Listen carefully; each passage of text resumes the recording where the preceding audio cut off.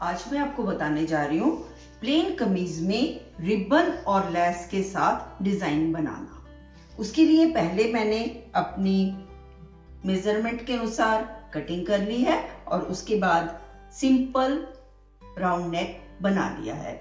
उसके बाद हम इस शर्ट का फ्रंट पीस लेंगे और उसकी एक सेंटर लाइन निकालेंगे और ऊपर से हम अपनी required length plus half inch का मार्क लगा करके बॉटम से भी फोल्डिंग की लाइन लगा लेंगे। उसके बाद हम इस सेंटर लाइन से इधर भी एक लाइन लगाएँगे और इधर भी एक लाइन लगाएँगे। वो होगा हमारे इस शोल्डर लाइन का हाफ़ यानी कि ये इसका मैं हाफ़ में एक पॉइंट लगाऊँगी और शोल्डर मेरी फाइव एंड ए हाफ़ है। तो मैं ऐसे करके इधर से फाइव एंड हाफ़ लेके ये मेजर करूँगी और इसका सेंटर लेकर के ऐसे एक लाइन लगाएँगे। मतलब सेंटर से हमारी ये दोनों लाइनें इक्वल डिस्टेंस पे होनी चाहिए।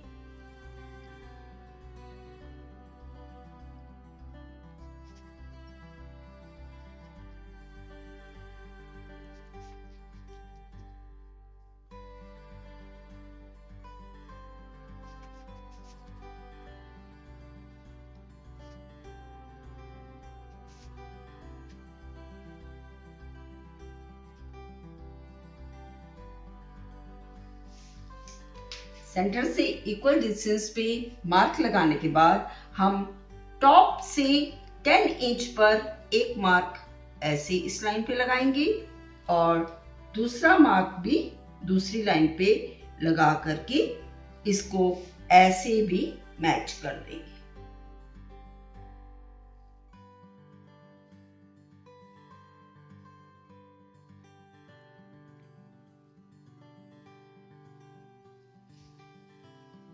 अब हम ये बेल्ट रोल से बेल्ट लेंगे।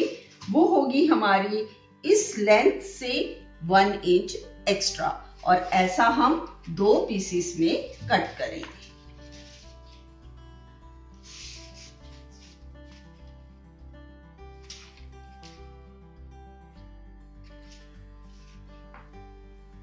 अब इन दोनों पीसेस को हम एक्स्ट्रा फैब्रिक पर रख करके पहले पेस्ट करेंगे और बीच में से इसकी कटिंग कर देंगे दोनों side half half inch fabric छोड़ करके।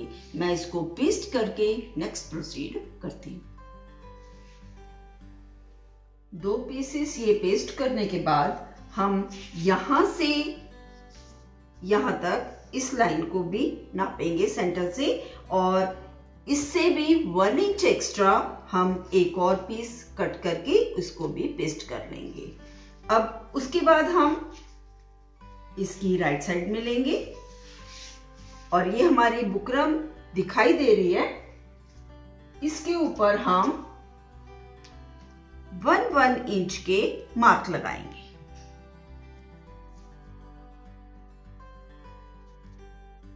ऐसा हम दोनों साइड लगाएँगे, इस साइड भी और इस साइड भी।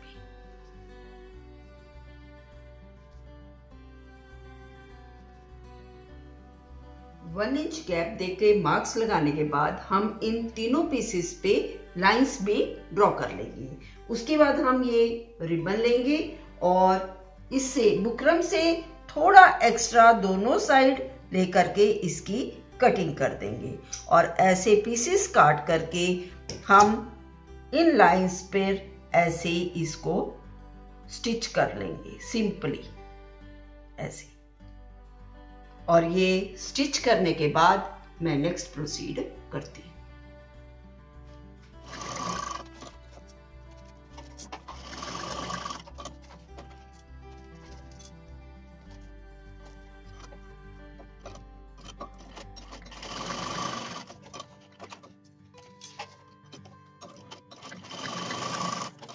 इस प्रकार हम सारी रिबन्स को अटैच कर लेंगे। ये करने के बाद मैं नेक्स्ट प्रोसीड करती रिबन को स्ट्रिप की तरह ज्वाइन करने के बाद अब हम इस रिबन को इसका सेंटर निकालेंगे और इस सेंटर लाइन से ऐसे मैच करके और इसके नीचे ये लेस लगा करके ऐसे इसको स्टिच करेंगे। यहाँ से यहाँ तक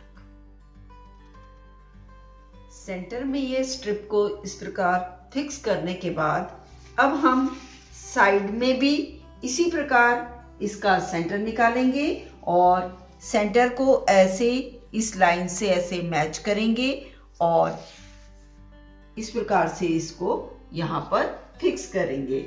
और इसकी लैस हम जैसे अपर साइड में हमने लैस नहीं लगाई तो इसके हम इनर साइड में लैस नहीं लगाएँगे। इसके आउटर साइड में लैस को ऐसे इसके बीच में लगा करके सिंपली इसको स्टिच कर देंगे। मैं एक साइड की आपको ये सिलाई लगाने के बाद ये लैस की स्टिचिंग करना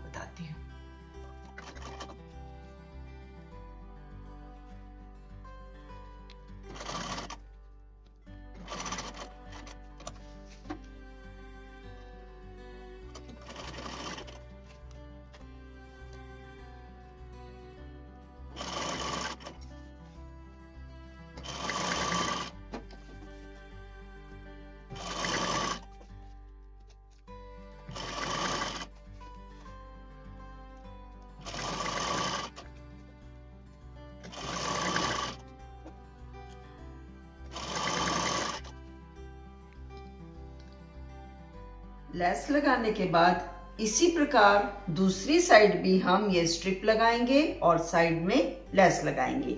ये कंप्लीट करने के बाद मैं इसकी एक पिक अपलोड कर दूँगी। अगर आपको मेरी ये वीडियो पसंद आई हो तो लाइक करें। अगर आप इस चैनल पे नए हैं तो सब्सक्राइब करें। नेक्स्ट वीडियो में मैं आपको एक नई कटिंग या एक नई स्टिचिंग आसान तरीके से समझाऊँगी। धन्यवाद।